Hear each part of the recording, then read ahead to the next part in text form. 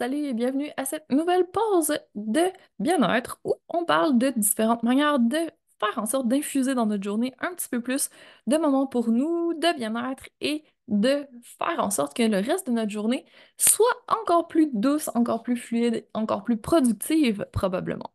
Donc aujourd'hui, je te propose la pause la plus simple au monde, mais c'est juste un petit rappel au cas où je te propose de faire une pause hydratation. Donc, si tu as une bouteille d'eau, comme moi, j'ai une bouteille d'eau de 2 litres. C'est assez conséquent. Donc, comme ça, je suis sûre de boire mon eau durant la journée et d'avoir un apport suffisant.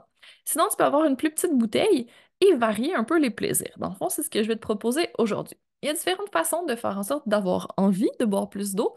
Donc, première option, tu peux la consommer avec une, arôme, on va dire. Donc, quelque chose dedans qui va infuser du goût. Ça peut être par exemple des citrons, tu mets des rondelles de fraises, de pommes, de lime, de gingembre, de ce qui te plaît. Tu peux faire des mix, comme ça les possibilités sont vraiment infinies. Si tu as une bonne huile essentielle, par exemple doTERRA dit que certaines huiles peuvent être ingérées, tu pourrais faire ça aussi.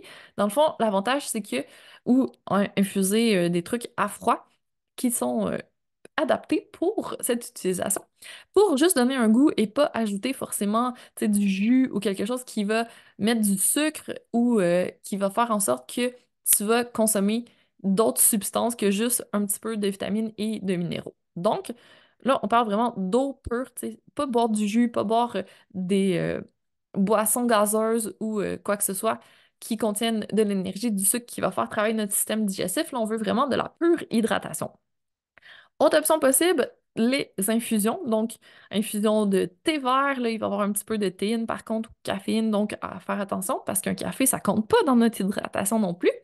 Et sinon, ben, tout ce qui est durant la journée, ça peut être des choses aux fruits, ça peut être des tisanes plus euh, menthe, digestives. Il y en a pour toutes sortes d'usages, pour la concentration, pour le, focus, pour.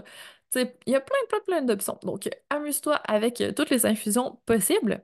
Et la troisième option, ce serait d'aller plus vers une eau qui va être supplémentée en quelque chose dont tu aurais besoin. Donc, par exemple, si euh, tu as besoin de magnésium, si tu sais que tu as avantage à avoir un supplément de collagène, où il existe différentes poudres avec plein de vitamines, minéraux, euh, suppléments nutritionnels que tu peux infuser dans ton eau. Ça ajoute pas beaucoup d'énergie dedans, ça ajoute pas de sucre non plus, mais ça te fait un apport supplémentaire en vitamines, minéraux et euh, tout ce qui peut manquer dans notre alimentation.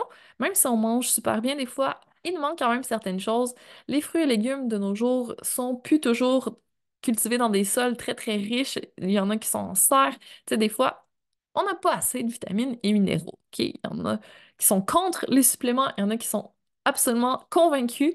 Moi, je dis, vas-y avec ce que tu penses et si jamais tu veux faire un bilan sanguin pour vraiment voir si tu manques de quelque chose, allez, vas-y.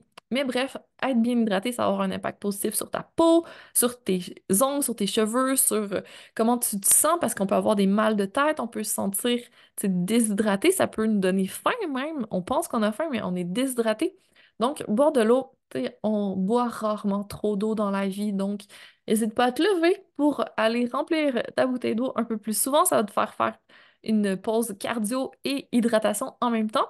Si tu fais du sport, s'il fait super chaud du travail, si c'est l'été, encore plus important de s'hydrater. Donc, n'hésite pas à faire en sorte de bien t'hydrater. Alors sur ce, à toi de jouer, prends une bonne gorgée d'eau et je te dis une très bonne suite de journée. Prends soin de toi et je te souhaite plein de feel, de feel good.